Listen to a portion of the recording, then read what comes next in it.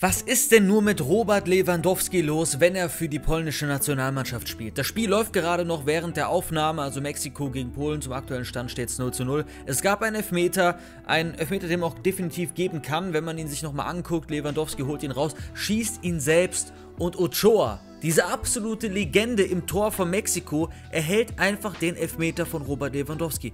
Robert Lewandowski hat von 44 letzten Elfmetern 40 getroffen und jetzt versagt er vom Punkt und ich finde, man hat es ihm schon angesehen. Irgendwie, wenn er für die polnische Nationalmannschaft spielt, dann ist er gefühlt so ein anderer Spieler. Natürlich hat er da nicht die guten Vorlagengeber, wie jetzt zum Beispiel bei Bayern er sie immer gehabt hat oder auch bei Barcelona immer noch gute Leute hat.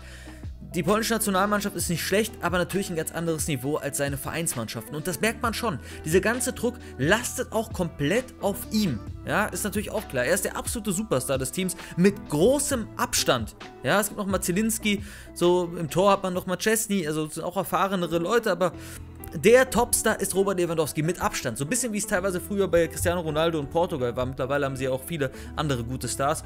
Aber natürlich ist dieser Druck dann wahrscheinlich so groß, dass du dann so im Moment auch versagst. Tut mir sehr leid für Robert Lewandowski. Ich hätte es ihm sehr gegönnt, dass er den Elfmeter reinschießt. Aber, wie gesagt, er scheitert dort und ja, bestätigt so ein bisschen das Bild von ihm in der Nationalmannschaft, dass es da eben noch nicht gut läuft. Naja, wer weiß, die WM ist noch lang. Es gibt in dieser Gruppe viele Überraschungen. Saudi-Arabien ist aktuell auf Platz 1. Das hätte ja wohl niemand geglaubt. Eure Meinung in die Kommentare. Wir sehen später wieder und denkt dran, haltet den Ball richtig flach.